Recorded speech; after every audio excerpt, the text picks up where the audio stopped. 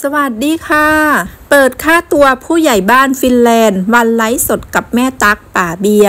จากประเด็นร้อนของแม่ตั๊กป๋าเบียร์ ที่ตอนนี้ดาราและอินฟลูเอนเซอร์ที่เคยร่วมไลฟ์ขายสินค้ากันทั้งคู่ ทยอยเดินทางเข้าพบตำรวจเพื่อแสดงความบริสุทธิ์ใจ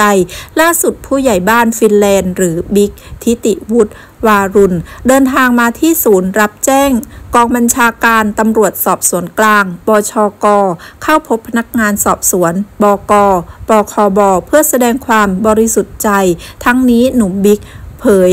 ตน